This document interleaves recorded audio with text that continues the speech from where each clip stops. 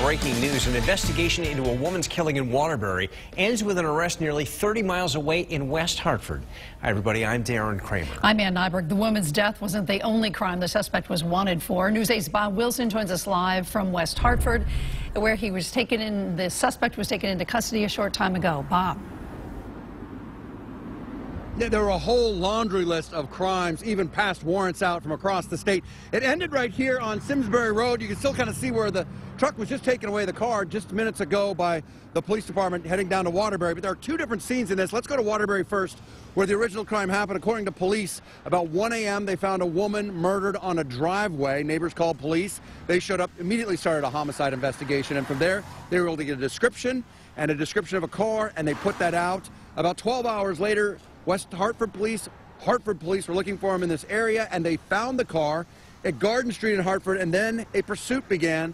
Uh, uh, he didn't want to stop. They tried to pull him over. He kept going into West Hartford, and now take a look at the second scene here where they stopped him in West Hartford after a quite a long a, a, pursuit. And it wasn't high speed at times. It was, it was more just kind of in and out and around through the neighborhoods. He tossed a gun out, according to witnesses, on Sedgwick Avenue. The gun fell onto the street. Neighbors saw it there. He kept on going through a school zone, ended up over here on Simsbury Road.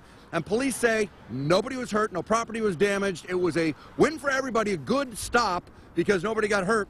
But a lot of weight goes into making the decision on whether or not to follow them through the area and the facts and circumstances of, the, of this case were weighed.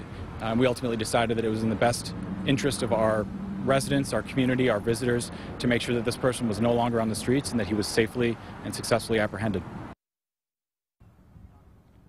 Now, they have not released the name of the suspect or the driver of that car yet. We are told that not only was there the murder warrant out of Waterbury, there was a, a, felony warrant out of West Hartford. We believe state police have a warrant for him, as well as Hartford police. And uh, right here, that's where it all ended peacefully as they threw out those stop sticks multiple times to blow the tires off the rims. I'm Bob Wilson reporting live in West Hartford, News 8.